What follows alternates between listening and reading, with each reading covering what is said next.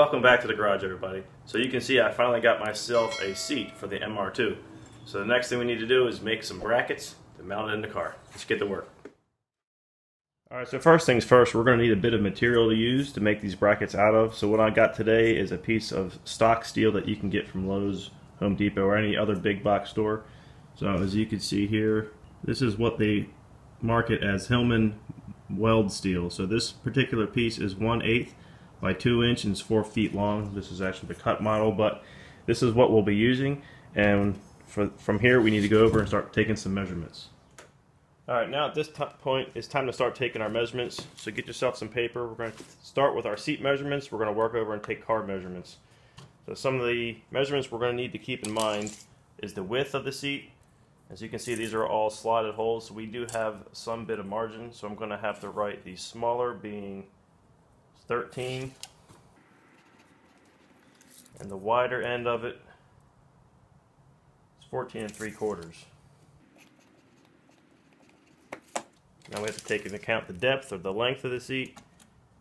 The overall bracket is 14 inches, but we're more likely looking for the seat hole. We'll say 12 and 3 quarters for the length. Alright, so now we can go inside the car and take measurements in there.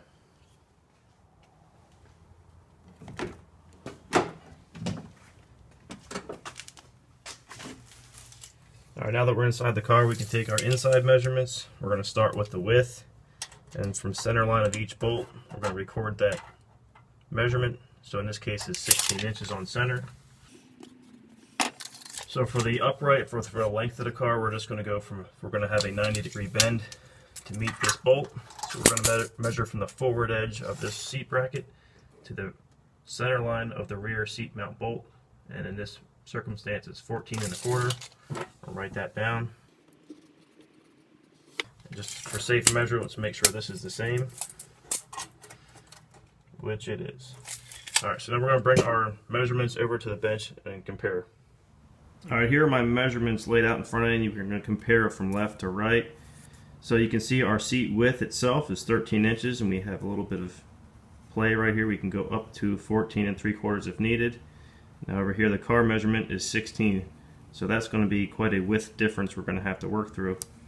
Length being 12 and 3 quarters of the seat, 14 on this, which is really no problem. We're just going to have extra length of material on our, our seat bars.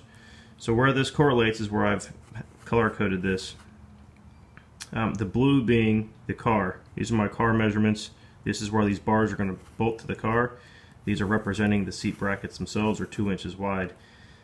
Now the reason for going two inches wide is so I can use the full width being 16 for the outer bolts. It's going to bolt to the car and our inner bolts are going to bolt to the seat frame itself. So just, just to show you the difference, 13 here, well technically we're going to use the 14 and 3 quarters to make up that difference and the 16 being the car. We're going to have insides and outside holes to mount this up. So now we're going to transfer our measurements to steel. Alright, measurements transferred over. You can see I scribed my lines on here, have the length where I'm going to make each piece. So these lines with the hash marks through is my cut line. We're going to cut this here. That's going to make the one side of a rail this line here is a brake line. We're going to make that 90 degree bend I showed you earlier for the front face of this.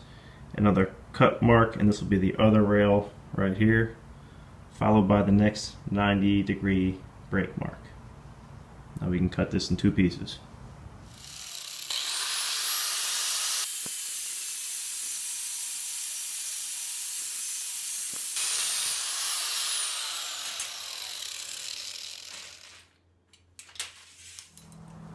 Alright, now I've transferred my measurements for the actual bolt holes or mounting locations from the car to the chassis and the seat mounting bolts. So now we have to drill our holes, which unfortunately my drill press is still in storage, so I've got to do it the old-fashioned way.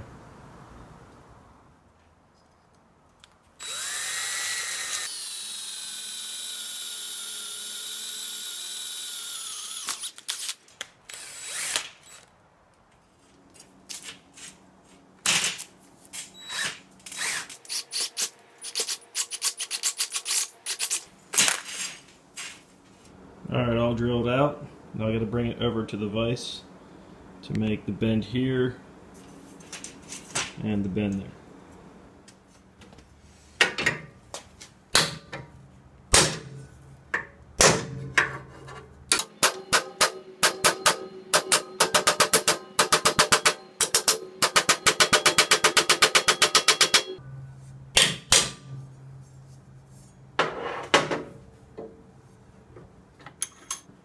Alright, got both of these bent up the way I needed to. Also, I forgot to mention, I did have to make another second slight bend on here, maybe a 10 degree bend, just to meet the contour of the floor.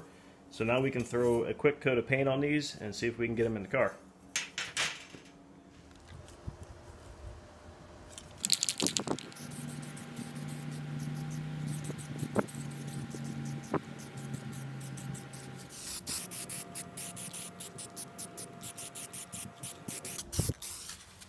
Now we can just bolt our seat rails to the actual seat brackets themselves.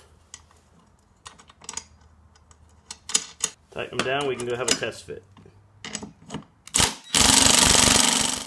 Alright, now to bring it in for a first test fit.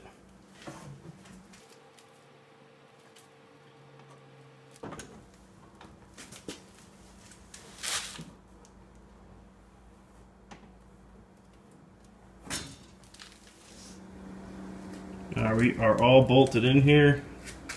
Just look at that tight fitment. Just enough space there. The same. No more really space to move it back without it vibrating. The bolting in the back, just had to fish through there and get it. This is a bit of a tight fit in this car. And if you can see, we are bolted up front as well. Let's try this out.